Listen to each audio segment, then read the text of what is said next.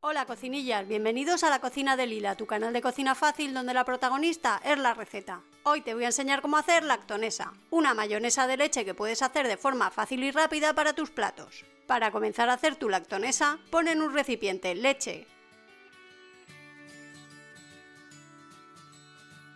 aceite,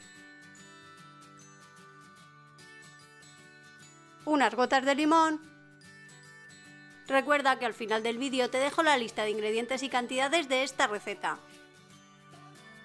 Y sal al gusto. Después coloca la batidora presionando contra el fondo de tu recipiente y bate todo a velocidad baja sin mover tu batidora. Levanta y baja el brazo de tu batidora repetidas veces, hasta que veas que tu salsa queda completamente emulsionada.